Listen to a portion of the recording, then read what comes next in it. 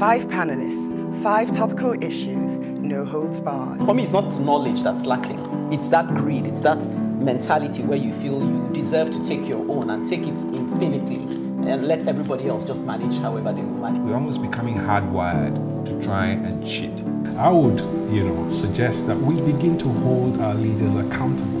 There was a time in this country when Yes. things actually work. I don't think that any organization should be above the law. And I think one of the challenges we have in this country is about governance across the board. But what I'm saying is that it doesn't really affect us in Nigeria. That's It, really it does, it does. It's the reason I- I don't know what we can do if the system is already corrupted. We've been warned as a continent of the influx of the Chinese. If you don't repay your debt, they will just colonize you.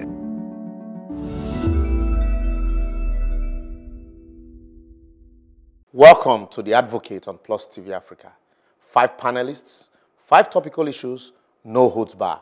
In other words, we say, we tell it like it is. But today, we have four panelists, four topical issues. I'll be explaining how our government has tortured its citizens with the lack of basic infrastructures, such as road. I'm asking, is Badagry Lagos? On the other hand, Aisha, my dear sister, is dissecting our voting pattern as Nigerians. Do we vote out of fear or out of conviction, she's asking. Hmm. Gbolahan sheds light on our country's business management. And he is saying if our government cannot run a business successfully, they definitely can't run a refinery. But definitely, Gbolahan knows that I have a contrary opinion. Last but not the least, Treasure tells us as Nigerians to normalize honesty and stop being religious away. Well, make no mistakes, we are change agents sent to sow seeds of productive thinking for a better society. Allow me to lead the way right after the break. Roll with us. Five panelists, five topical issues, no holds barred. For me, it's not knowledge that's lacking. It's that greed, it's that mentality where you feel you deserve to take your own and take it infinitely and let everybody else just manage however they will manage. We're almost becoming hardwired to try and cheat. I would, you know, suggest that we begin to hold our leaders accountable. There was a time in this country when Yes. things actually work. I don't think that any organization should be above the law. And I think one of the challenges we have in this country is about governance across the board. But what I'm saying is that it doesn't really affect us in Nigeria. That's It, really it does, it does. It's the reason I- I don't know what we can do if the system is already corrupted. We've been warned as a continent of the influx of the Chinese. If you don't repay your debt, they will just colonize you.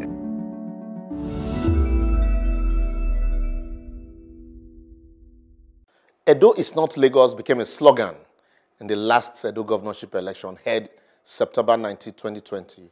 Even though we move from Edo into Lagos in droves daily in search of better life. Definitely, Edo can't be Lagos, even if both states share historic similar- similarities. But should Edo work hard enough on its infrastructure? Maybe someday it might be like Lagos. But my question today is, is Badagry Lagos? It took me a journey from Lagos to Badagry and subsequently from Badagry through Agbara industrial layout to Ota via Igbesa, both in Ogun State to realize that Badagry is no longer Lagos or Nigeria. In fact, the deplorable state of the roads in Aba and some many other parts of the country are child's play compared to the state of the Okokomaiko to Badagry Road. A pregnant woman will surely have a miscarriage if she dare travels on that road. And no matter how good your car is, it can't last three trips on that road. I bet you.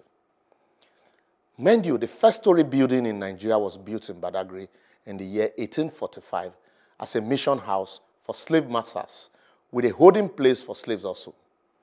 The town ordinarily is a historic one with a federal French college and also used to boast many tourists, usually who were eager to reconnect with the slave trade history, from the slave parts, the chains, to the point of no return, and then the relics of that inhuman torture and journey called slave trade. One really needs to see these things to understand what Africans went through in the hands of slave masters. But more than 100 years later, the slave master has gone though, but our leaders have worn their cloaks and are still torturing us with the darts of public infrastructures, inhumanity, and public stealing. Apart from the historic slave museum in Badagry, the town is the, also the gateway into Nigeria from the West African sub-region. While the Benin Republic side of the road is motorable with proper security arrangement in place, ours is hell on earth with several checkpoints harassing motorists for contraband goods and the usual gunja. Pull over, park, what you carry? Okay, your boys are here. Today, tourists have deserted Badagry sites as a journey on the 60 kilometer Okokomaiko to Badagry Road is like the biblical camel passing through the eye of a needle. A same usually lasts for between five to six hours. What will it ordinarily take to fix this road within a year, if I may ask? Who caused us like this? Even the indigenous and residents of that area have cried their voice hoarse, calling on government to fulfill their promises to them, even though they pay taxes. Lagos State government is said to be responsible for the Gomo Okokomaiko section of the highway and awarded a contract for the rehabilitation of the road in 2008. That's about 12 years from now. While the federal government is handling the Okokomaiko, Agbara, and Badagry axis of the road at a cost of 63.023 billion naira awarded in 2019. Yet, body contractors are nowhere to be found apart from their signpost on that road. Or maybe they have forgotten that Badagry is still Lagos or Nigeria. And yet the same federal government just approved the sum of $1.9 billion for the construction of a railway line that will link Kano, Dutse, Katsina to Jibia in Nigeria to Maradi in the Niger Republic. And the government quarrel when people complain. Babatunde Hunpe is a member representing Badagry Federal Constituency at the Federal House of Representatives while Senator Solomon O. Adeola is a senator representing Lagos West Senatorial District. One wonder what type of rep representation they are giving at the National Assembly when the busiest road in their constituency is not motorable. And also, what is the Lagos State Governor Babajide Sanwo-Olu doing to alleviate the suffering of not just the Lagos State government workers that have been posted to work in Badagry, but the teeming population living in that area? Abi Badagry, not be Lagos, I ask again.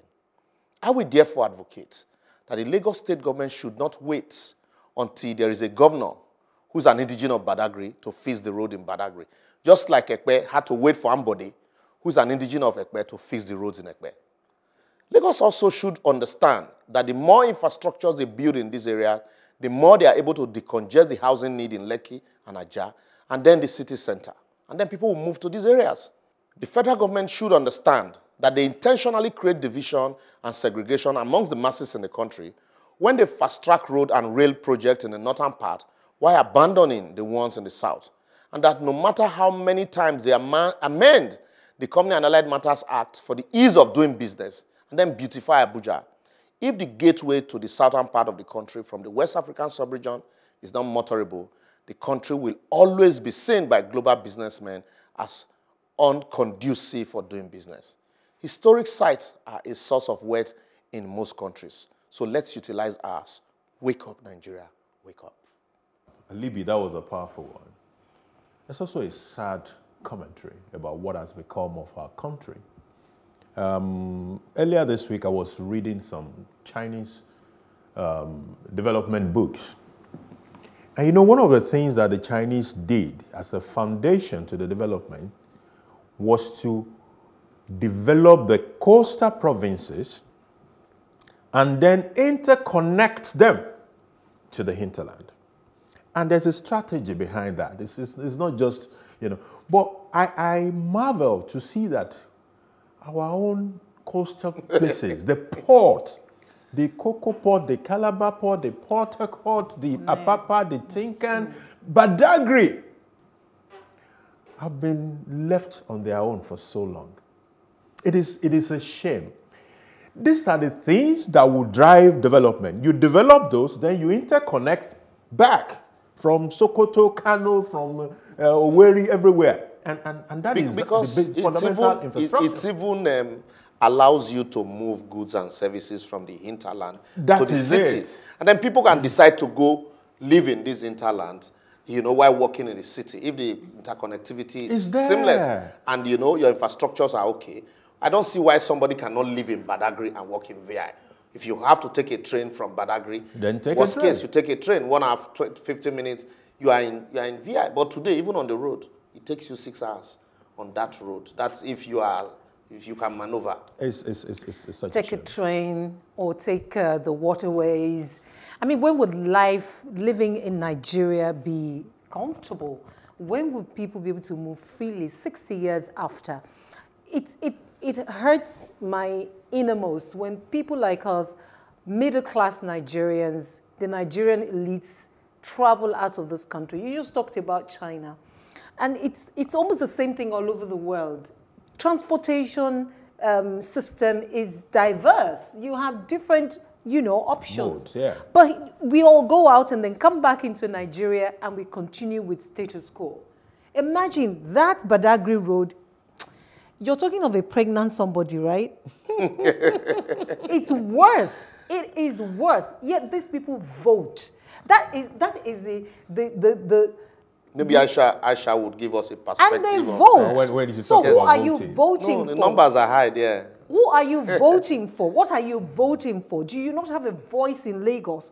And when the Lagos State Assembly sits, what do they talk about? If you have the districts, you have Epe, you have Ikeja, you have uh, uh, Ikorodu, and then you have Badagry. And of all these, Badagry is there, is the gateway, as- as you have said. But it's perpetually like that. I remember when I had a, um, a project to do along that line, it was still the same thing. It's always been the same. just They're always, always like always constructing every day. So what's the, what the, what is the what is the benefit or It's- dividend it's- of it's just democracy for the people of Badagry?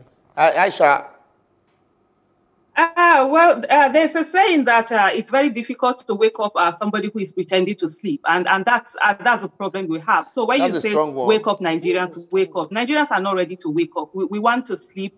While we are sleeping, we wake up. We wake. We open our eyes, and things will magically uh, be be okay. So that is the main uh, the main issue. The question we need to ask who are the people that live in Badagry? You find out that it's not the elite, it's not the who is who. So they really don't care. It's about what we have right now, where there's uh, there's uh, an air route that's uh, going off between Abuja to Kaduna.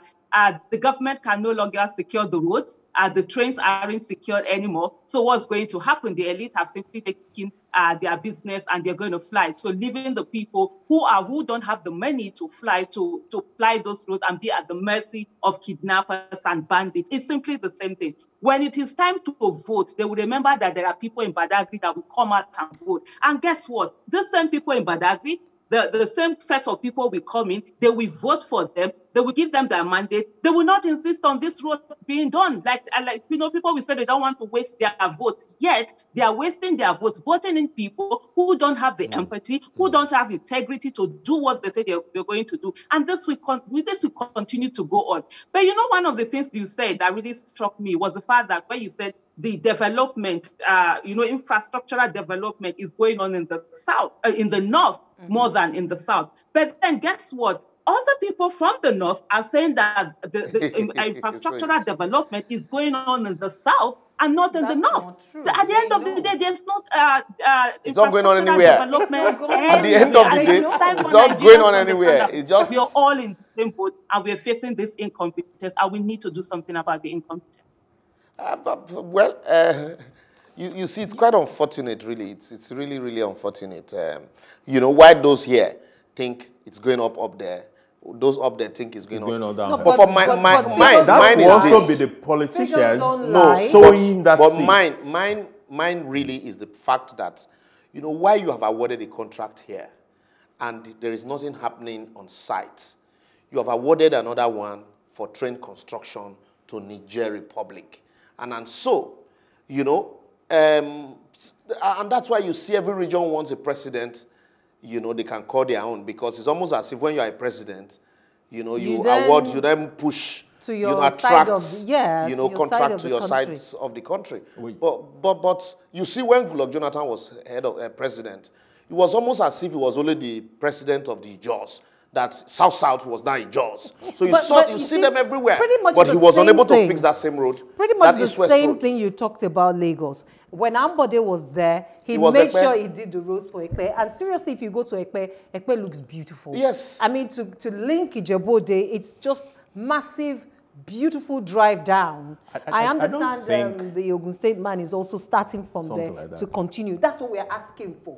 That sort of thing, continue. But you see, it doesn't have to be an Ambode that will come and do that at Epe. That is the problem. You we know? don't. There are no specific mandates and deliverables for these political leaders. No, no, no. I'll give you another another another example. Do of- we as a people even have a blueprint for what we want? Development in our in our communities. That is, that is we the question. do not. So if there are no specific mandates, it means that when I get there, I will do what I think pleases me or what will serve my political interests later on in the future, and then I, I- I leave the place. Because we do not insist on We do not manifestos. insist on manifest. We do not even insist You know, on you know the way campaign- manifestos come up in Nigeria. Somebody else is writing it, not the visionary. The visionary doesn't even have an input. in It He when he- he doesn't know what you have written there. It is when you are elected a governor that you now say, okay, hey, please let me put a team together. What do we do? What do we? Uh, give me a vision. Give me what we can do. What are the Because you know? the people don't care. The people thing is do that not. Aisha- Aisha- insist. Aisha- Aisha, in the within the those who are elected, even even in normal places, organization, parastatals, the moment somebody gets there at the head, if it's your tribe, then automatically it's as if everybody from that either town or that region mm-hmm. get into there. It's because of the fact that we have this nepotism. It's so rife in our, in our country, and it, things are not based are done based on merit. They are ba- done based on who do you know. So that is a major uh, uh, problem. So that's the reason why people will want their own person to be there, even though even if that person is not competent, just so that they will be able to get dividends, whether it's dividends of democracy or dividends of having the person in that position in the first place. dividends of stomach infrastructure. I wish they would replicate it, you know, in physical infrastructure. Well, it's no more news that our leaders, you know, hardly give us what we want. After the break, I shall resist a topical issues in that same line. The power of our vote cannot be overemphasized. And I'm asking, when will Nigerians vote out of conviction rather than out of fear? One of the common phrases one hears during election period amongst the electorate is, I don't want to waste my vote. For the average electorate, voting for a candidate not from the two dominant party is a waste. Many do not realize that voting for a candidate just because one thinks that the candidate will be the one to win, rather than voting because the candidate is the most qualified, is the real waste.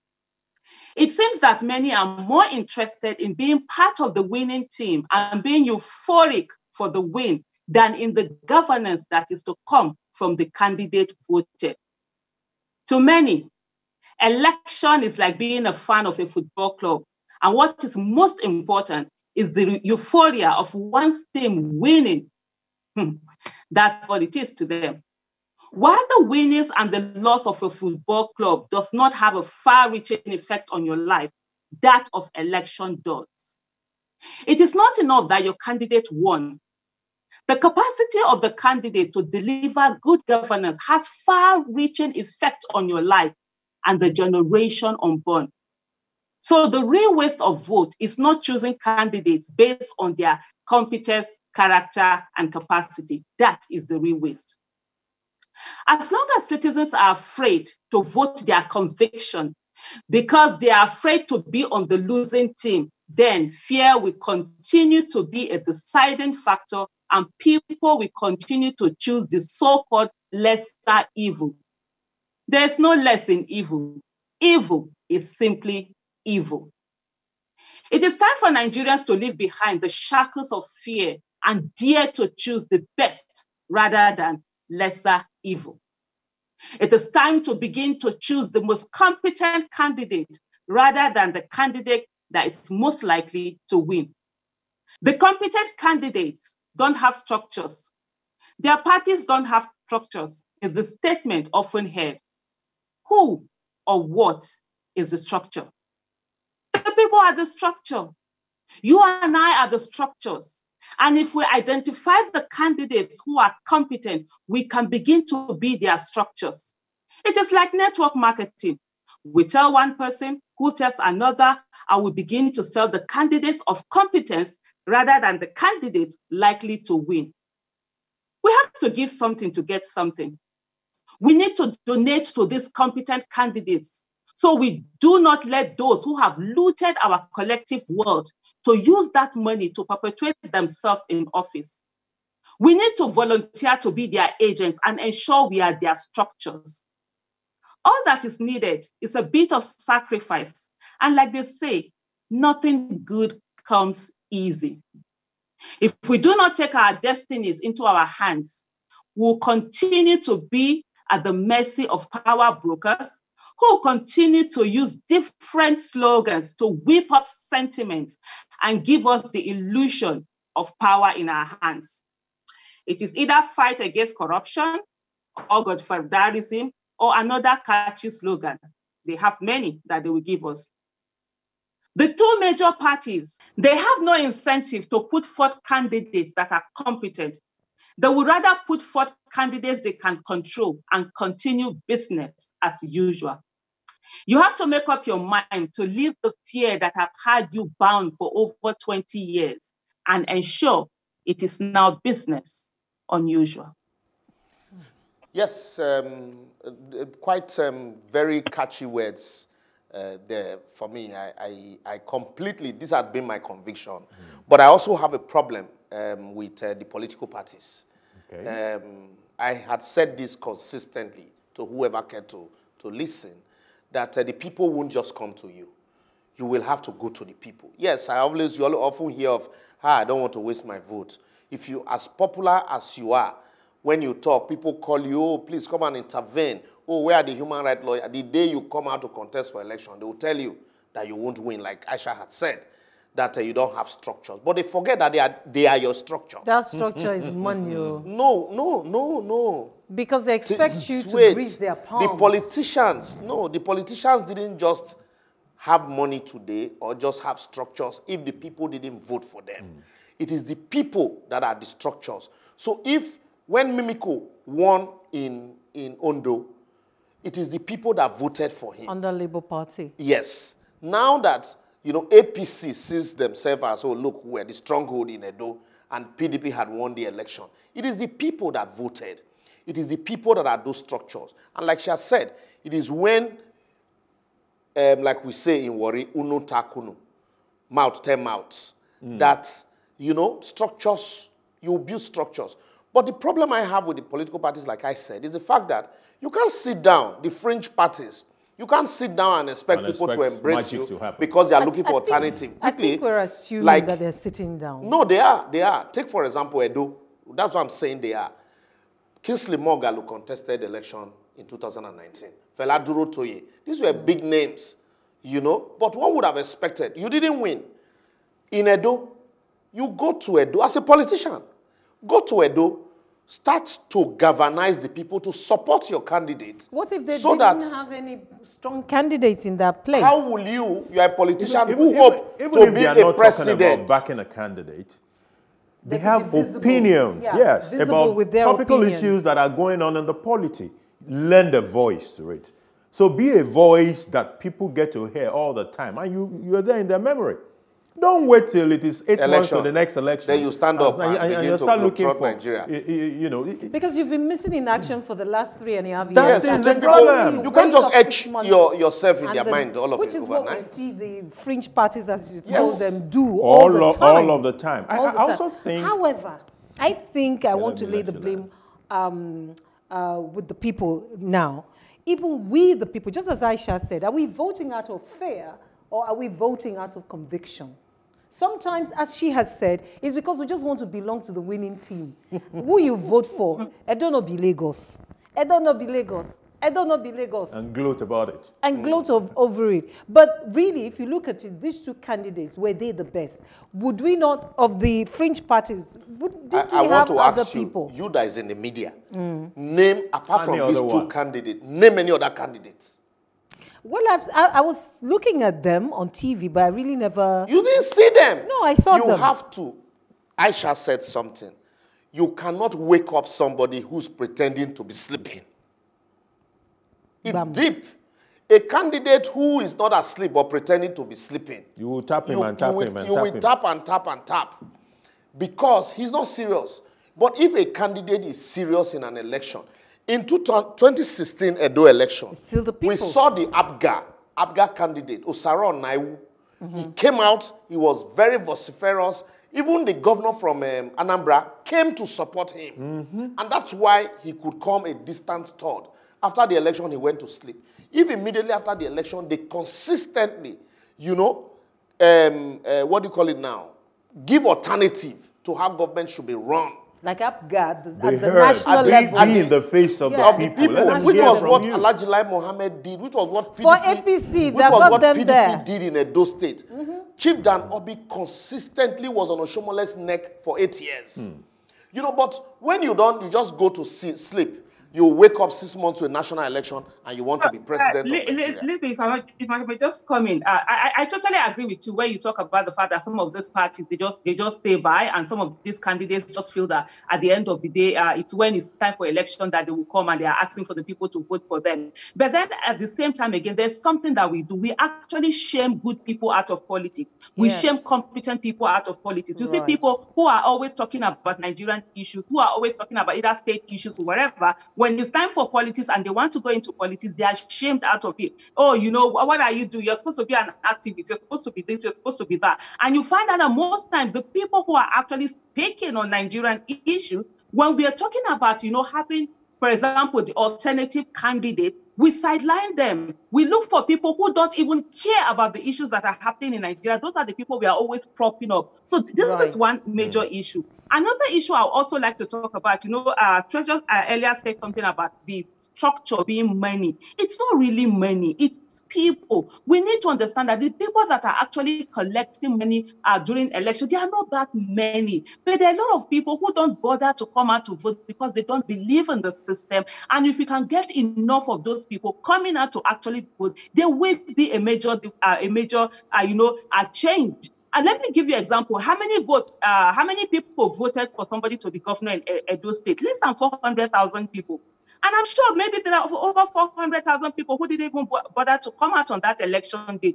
These are some of the things that we need to do. At this moment, we have an unusual situation. All right. So we're supposed Yeah. to praise, we're supposed to turn things up, upside Okay. down. It's no longer a moment of uh, uh, that we say, oh, let's just wait by this side. Wh- Whichever candidate comes in, we decide. Let's begin, even we ourselves, look for these candidates right now. By now, we should know who are the people we want at the National Assembly, who are the people we want in all the states. Aisha, By you have taken over the discussions these from us. And begin to It work is your and- and script. put things in It place. is your Let's no longer script. wait for the, It politicians is your script, but you have done the discussion, you have done the dissecting, and um, well, uh, that's the way it goes sometimes.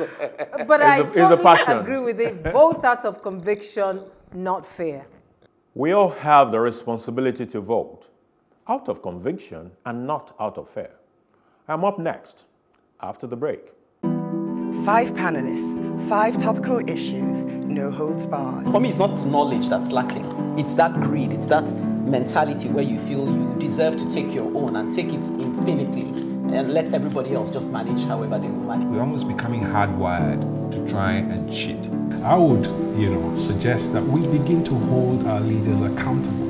There was a time in this country when things actually work. I don't think that any organization should be above the law. And I think one of the challenges we have in this country is about governance across the board. Well, what I'm saying is that it doesn't really affect us in Nigeria. That's It, really it does, it does, it does. The reason I I don't know what we can do if the system is already corrupted. We've been warned as a continent of the influx of the Chinese. If you don't repay your debt, they will just colonize you.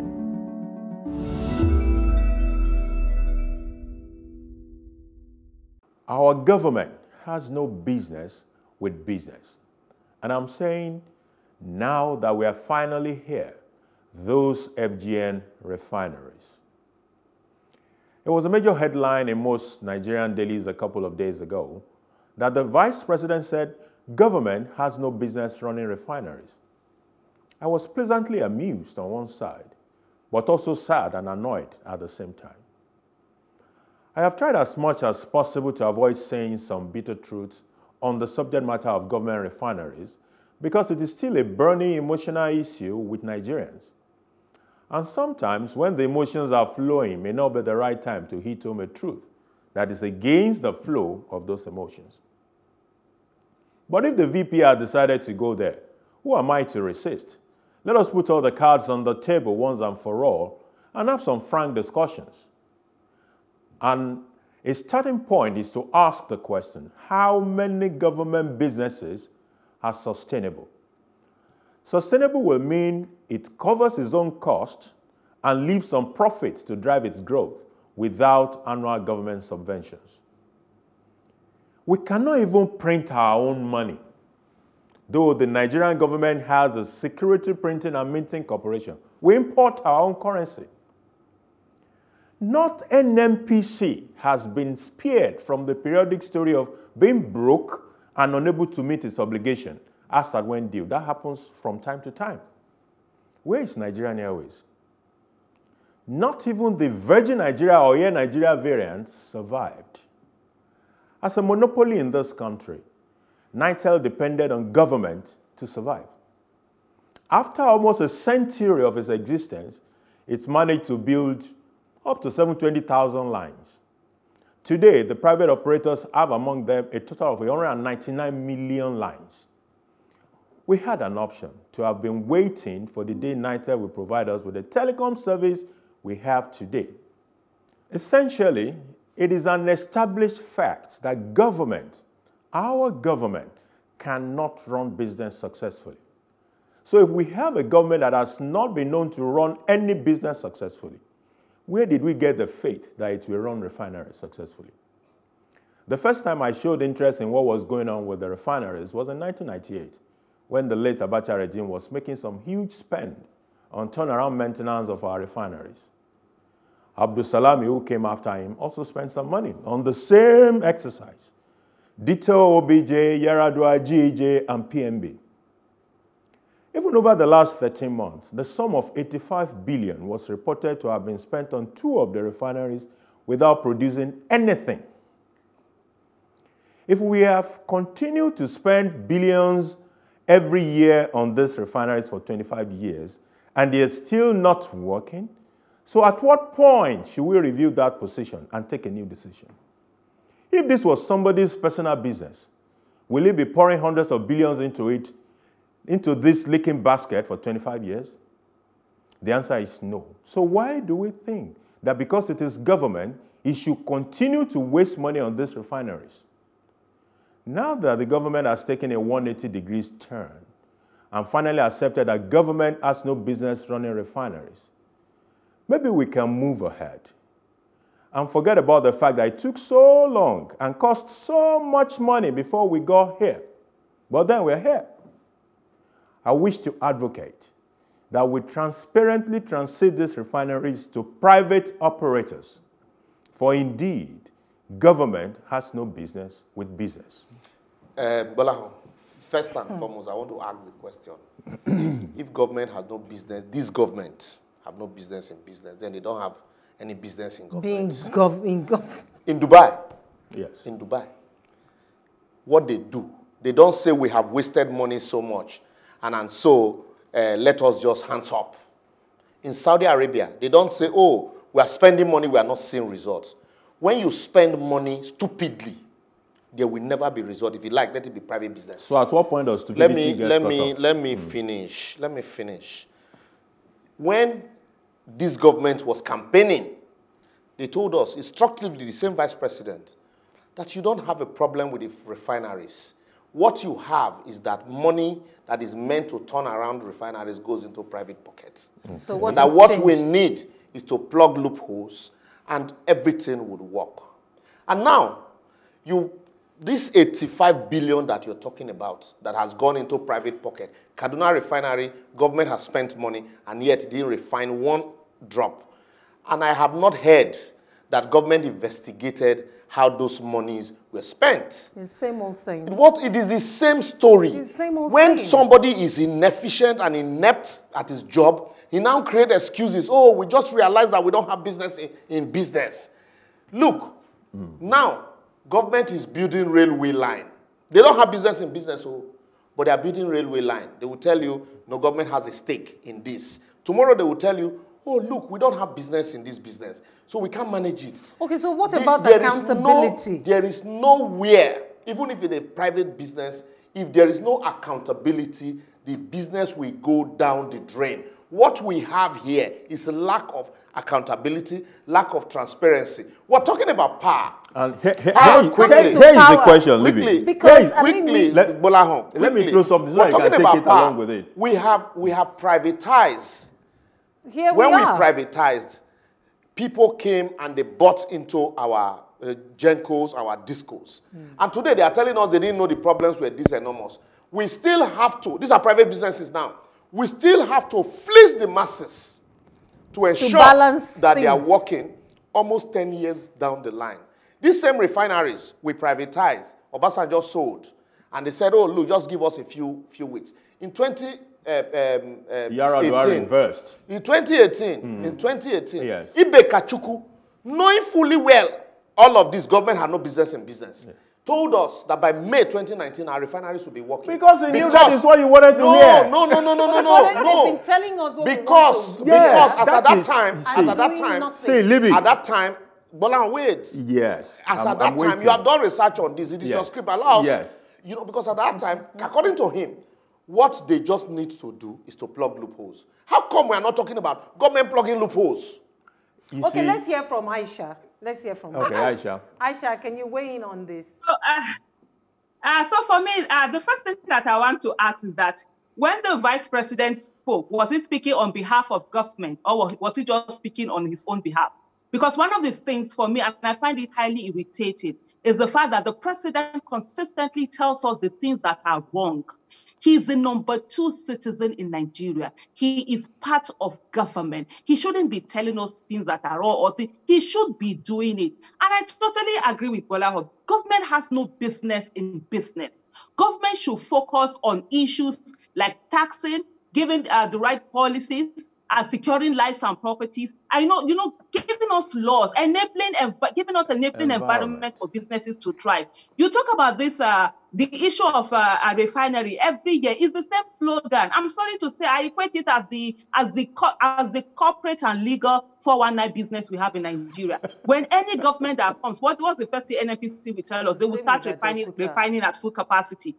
And we continuously buy that over. So because they know we are accepting, we are citizens who are docile. We don't make demands. We don't ask for accountability and transparency. We don't we don't put government uh we, we don't put government on its toes and say, this is what you said before, you aren't doing it. Why aren't doing it? Because nobody cares. People just want to pray for Nigeria to be good, but they don't want to do the the right thing. So that's why consistently these things are happening.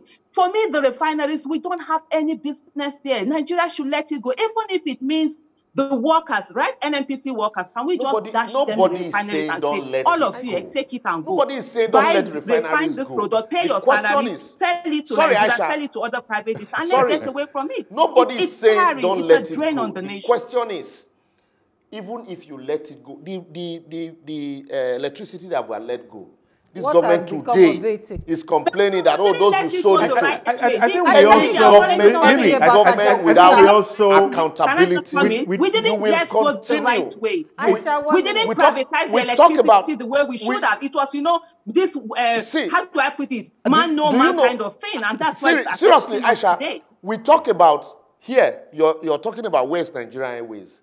Do you know I I, I traveled from Nin- Lagos to Dubai, Dubai to New York, and Airbus A380.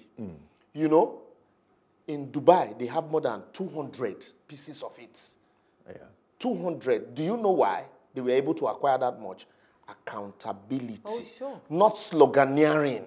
Ah, you see, when you come, coinages. when you come, you hmm. say, you come, you tell people what they want to hear. Now, the vice president is still telling you what you want to hear. Government has no business in business, and, and so. And then as moving if, forward see, as if the questions are still there unanswered. If for 25 years, out of these 25 years, you had two military governments, Abacha and Abdul Salami, you had two For another presidents, 25 years, two presidents who were former military and then civilian. So they have come there. And uh, see, What if I it am is telling not you- working, it is not what working. I am telling Let's you walk is out of it. accountability. Okay, Where, so when, moving when are you going to get that accountability? Why fix ineptitude, fix Libby, accountability. we I could- shall wait. We could have been waiting for accountability You're on still- Nitel. you will till still be waiting for it. Are we not waiting? Are, are we Are not we waiting for accountability generator? on Nitel? Wait a minute, Right in the Libra. studio now, we are Huh? running on generator. Lib, Lib. And So we have- moving we have- forward, what do we do? When you say That's what I'm telling you. accountability, what do you what See, should we do? what Leave do government is- with I it. talked about voting out of conviction.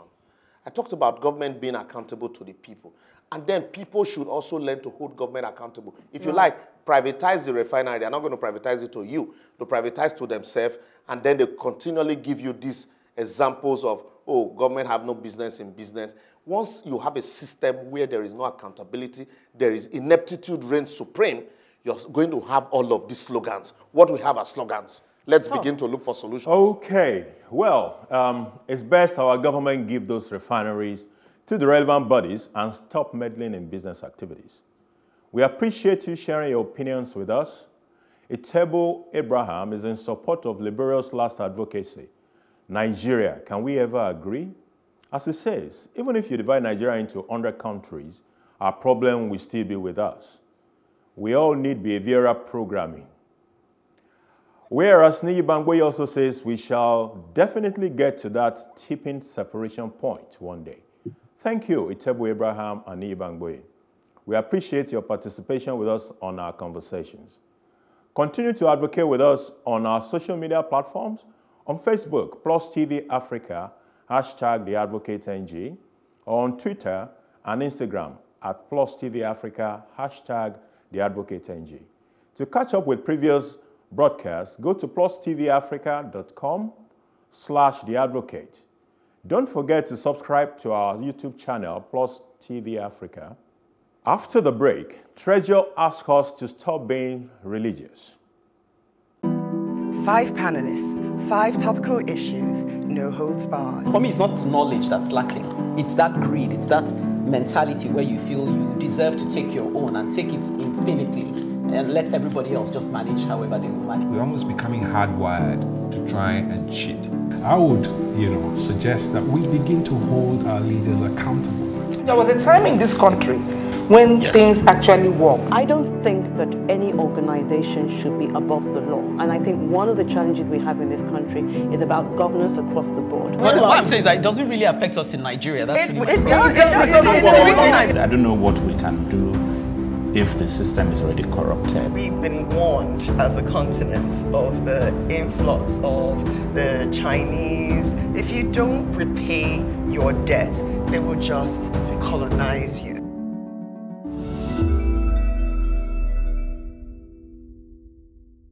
In furtherance of my Nigeria at 60 series, I search for the honest amongst us in what I title Wanted a Righteous Nigerian. Fellow advocate Saidu Bishara once said, if religion were a currency, African nations would be the wealthiest of all. What is baffling is that despite this assertion, the dishonest and mockers of the honest are in multitudes. Japan sings the praises of a Nigerian PhD student who returns a lost purse. The Nigerian government recognizes him at home for being honest. Individuals fall over themselves to congratulate him. Good script, right? Wrong. From John Nweke in Japan to Achi Daniel, Francis Emekbako, security guards at Murtala Mohammed International Airport, to random cab drivers, the soldier who returned $41,000, and Joseph Unugu, a cleaner at the same MMIA, who claimed she had returned different amounts of money running into millions, and who particularly wanted recognition for it. The furore her desire generated on Twitter was both interesting and disturbing for a nation with a religious culture like ours. We celebrate one honest man or woman as if we're saying, wow, look at that righteous one in a nation of rogues. We celebrate Nigerians who return lost money so vigorously when it should be the exception not to do that, given our religiosity. Our corrupt status is legendary, in spite of the huge worship centers of the major faiths across the country. On WhatsApp platforms nowadays, religion is a big issue. We inundate everywhere with piety when we lack character majorly.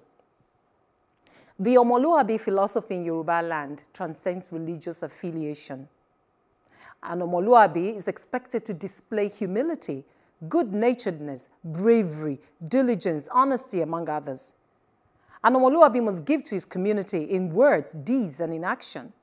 It is similar to Aristotle's theory of virtue ethics that sees moral virtues as the basis for the common good. The Greeks have a similar concept that determines the morality and immorality of an act in the society. We can't keep dozing on opium. As they say, religion is the opium of the people. We need to come clean.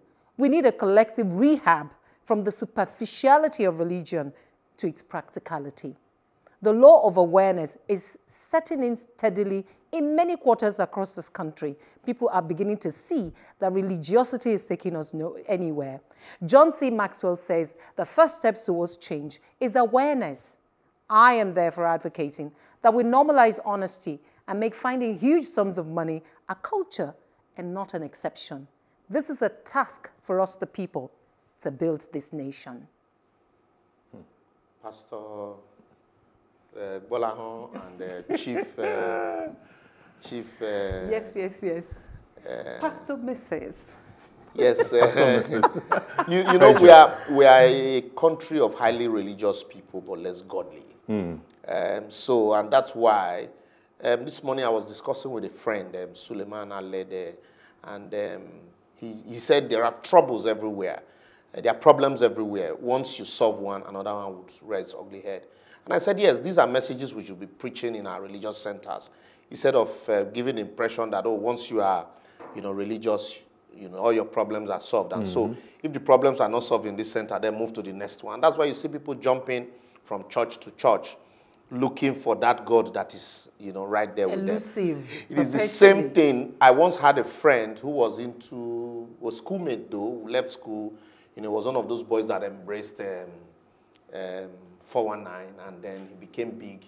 While we were searching for a job, he already had an apartment, living big, you know. Sometimes we go to his house. He has a corner where he smokes Indian hemp. And then, but he had one very big Bible and he sits in front in the church. Mm -hmm. And he told me, he said, you know what? Imagine. I pay my tithes regularly mm -hmm. and that's why God is blessing me. And I looked at him and I said, so you pay your tithe from fraudulent money and then you think, he said, yes, that is what his pastor told but him. And that, that, that the pastor that, you know, they don't joke with him in his church. In one of his Pentecostal churches, I don't want to mention their names. But you know, like it happened back then. Some bank, bank, bank uh, leaders at that time were the big guys in a certain yes, church. Yes, Akingbola was the one, one of the biggest guys in Redeem, so we shouldn't hide it. Ah, you know, it's a notorious And then we fact. know what happened at the end you of know, the day. So, it's, it's, it's so that's why you have people would rather. That's why you chase, we chase after money, even culturally. Like those that I remember growing up. Mm you go to Lagos and six months down the line, you bring a car. Your father won't allow you into his house. What did you do? How did How you get did it? you How make did you this get money? money? I know what it takes to buy a car, but today, you just left which It's, day and it's, here. it's But totally now- different now. But now they will give you chieftaincy title. ah. They I, celebrate I, you. I, I listened to a, a testimony some years ago in a church, a Pentecostal church as well. And the person was talking about her brother who went to Malaysia and has started sending home cars. And my friend just looked at me and said, Your brother is a thief. Your brother But is here a you thief. are. There were people who were already clapping and thanking God for, for, for the miracle of brother went to Malaysia and started sending cars after, Uh, after maybe, maybe Aisha has um, Aisha must have something for us. Well, uh, I think Levi said it all. We are a religious uh, but God, uh, godless nation. Uh, so for us, it's about the religiosity, you know, doing it, the showmanship of faith. So we did this religious competi- uh, uh, uh, religious competition, uh, which religion is more than and everything, and we forget that you know the godly part of, of, of, it all. And I think one of the things we need to understand is that we have uh, religious leaders. I call them religious slave owners. These are people who continuously need slaves uh, under them. So they would do anything. And they sell this gospel of prosperity. If you come to my place, either my church or my mosque or something, then you, you, you're going to be prosperous. Those who don't come in are the ones that, that don't have it. We seem to forget as a, as a people that the greatest miracle that God gave us is our brain, and we need to use it. So people are waiting for, you know, for for for for this miracle to, to come and happen. But you know, talking about the issue of uh, being righteous or being honest, There are a lot of good people. There are a lot of honest people in Nigeria. It's just that we it, it is the tyranny of a, a minority. We have minorities that are vocal, who have come to a place whereby they're the ones who are celebrating corruption, they're celebrating their wrongdoing. To the extent that the, the, incorruptible ones, the ones who are doing the right thing, the ones who are doing things with integrity are being shamed in our society and we need to do something about it. So it's a vocal it's a vocal minority that we have out there. But i think for me one of the things and, i totally agree nigerians need to re- reduce their religiosity. We need to tone down on it. It's not about carrying this religion on our head. Like i always say to people i don't want you to tell me what religion you are. Let me see it in your action. Yeah. let's that's the reason why we don't make demands so we sit down, we're praying, and I always say that it seems as if Nigerians think that they have the patent to prayers. We refuse to do what we need to do. We are praying to God. Like the other day, we saw video of uh, uh, a, a, group of people who were actually praying for a transformer that is false. Yes. yeah, I want to see somebody praying for a woman to God to a transformer that, woman, that is very false. I mean, are you guys Pastor okay? Was saying, you people think that this you weight, own I God, reduce you in Jesus' name. I I, I totally agree. Please, we need to just carry. Everybody should make religion their personal business. I don't want to know exactly. where you are, which religion thing. you are. It's a personal ah. thing. Do it. It's your relationship with God. After all of us, now, now, now different grave we enter. When we reach there, we go say as the team. yeah. Thank you very much. receive your healing now. Yeah, receive it. the end always seems to come too soon on The Advocate. However, the advocacy continues on our social media platforms on Facebook, Plus TV Africa, hashtag The Advocate or on Twitter and Instagram at Plus TV Africa, hashtag The Advocate. To catch up with previous broadcasts, go to plustvafrica.com slash The Advocate. Don't forget to subscribe to our YouTube channel, Plus TV Africa.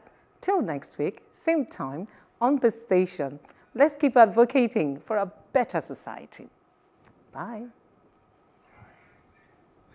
Aisha, bye. Five panelists, five topical issues, no holds barred. For me, it's not knowledge that's lacking. It's that greed, it's that mentality where you feel you deserve to take your own and take it infinitely and let everybody else just manage however they will manage. We're almost becoming hardwired to try and cheat. I would, you know, suggest that we begin to hold our leaders accountable. There was a time in this country when yes. things actually work. I don't think that any organization should be above the law. And I think one of the challenges we have in this country is about governance across the board. Well, what I'm saying is that it doesn't really affect us in Nigeria. That's it, really it, does, it, does, it, does, I don't know what we can do if the system is already corrupted. We've been warned as a continent of the influx of the Chinese. If you don't repay your debt, they will just colonize you.